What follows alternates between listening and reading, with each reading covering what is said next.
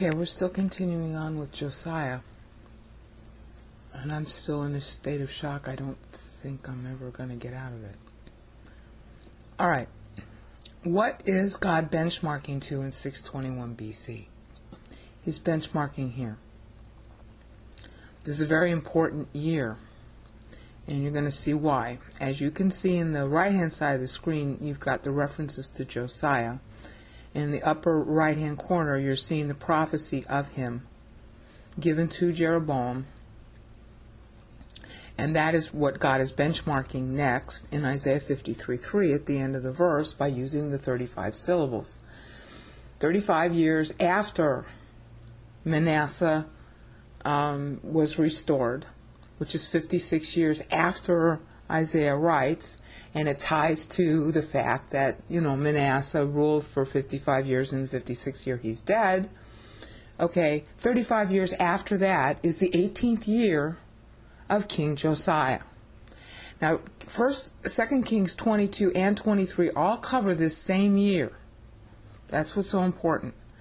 This is the backdrop to how 1 Kings 13:2 gets fulfilled because this is the year in which it gets fulfilled, the 18th year of Josiah.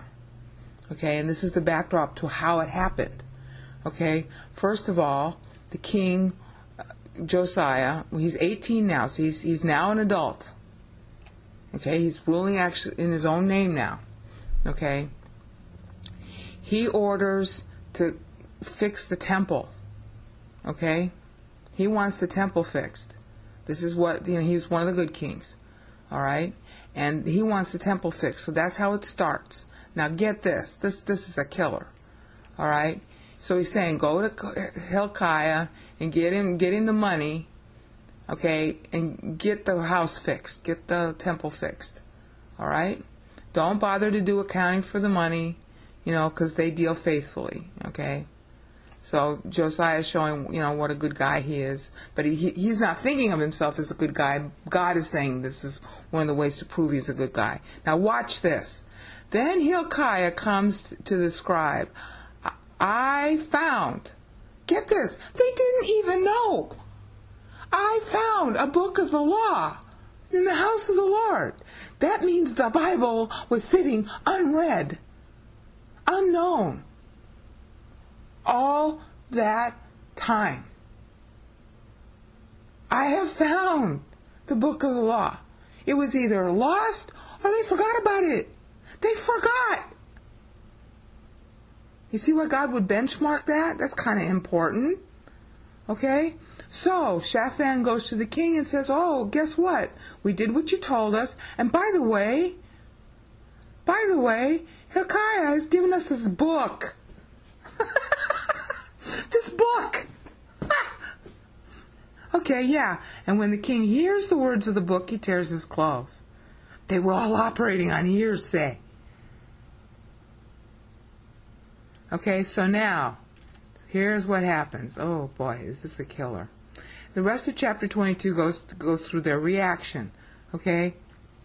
The king commanded Hilkiah, Go inquire of the Lord concerning the words of this book.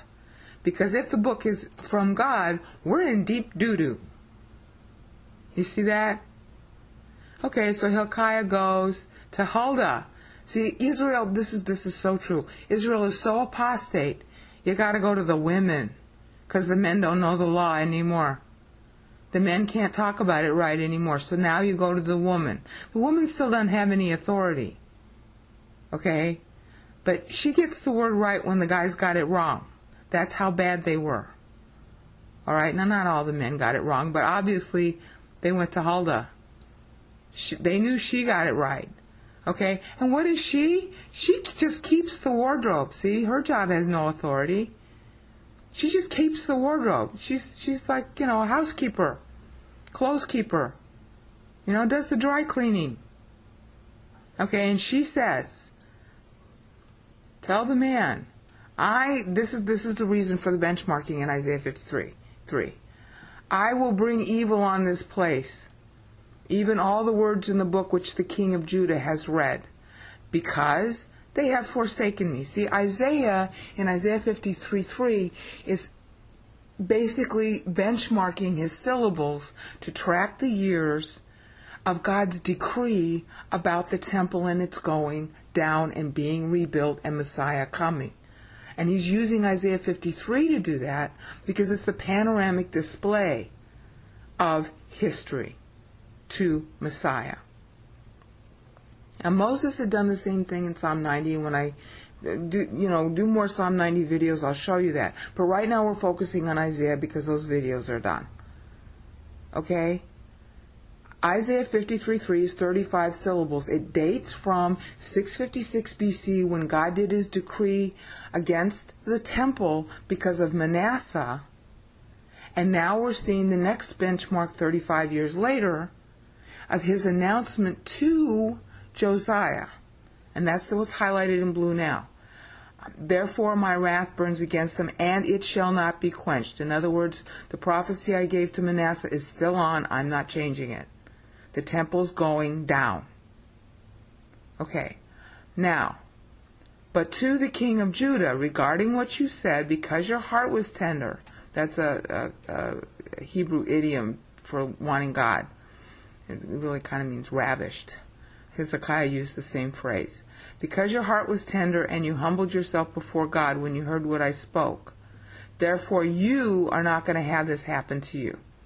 So see, when Isaiah's benchmarking Isaiah 53:3 with the 35 years, he's explaining not only when it happens, okay, in 621 BC this decree is given, okay, but he's also explaining why there was another 35 years. Because Josiah was still ruling, and he ruled until 609 BC, which I think you can show here. Well, please, mouse, please work. Please don't go bad yet. Okay, yeah, see? See? God is making this work. 609 BC, because the first deportation by Nebuchadnezzar, who wasn't yet in power, he was just about to become, it, or he, he was just coming into power, or his father was, rather. Um, the first deportation is going to be in 606 BC. All right, during the reign of Jehoiakim. In 606 BC is the first deportation by Nebuchadnezzar. All right, so Josiah the, the reason why the uh, Israel got time bought for them was due to Josiah. That's what this is saying right here and highlighted in blue in 1 Kings 22, you know, through the end of verse 20. Now, that's not the end of the story, though, for Josiah. We're still in the 18th year, as you're going to see in a minute. Okay, so as a result of him getting that, okay, he gathers everybody goes up to the words of the Lord. He has everybody hear the book because that was the rule. Every seven years you were supposed to hear the Bible and memorize it.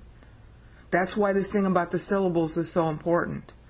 They were supposed to count the syllables to know their calendar and to know that they heard it right. Just like I had to make sure I was counting the syllables right. Only I didn't know all this when I was counting the syllables. I was just counting the syllables because in Hebrew it's like one consonant, one verb, and sometimes a second consonant. It's very easy to count the syllables in Hebrew. I don't know how come the Hebrew scholars can't do it. All right? They always debate that you can't know the syllables. Yes, you can. Yeah, just count them. Simple. All right? So, he why? Because you read the word in the hearing. Okay? You're supposed to read it every 7 years. That was the rule since Deuteronomy. All right? And then the king, he promises to stand by the covenant. All right? So, what does he next do? This is the rest of his 18th year. He commands Hilkiah, get rid of all the idols. Get the Asherah out of God's house. Was, there were still some in there. Okay? And he burns them. This is this is, you know, desecration.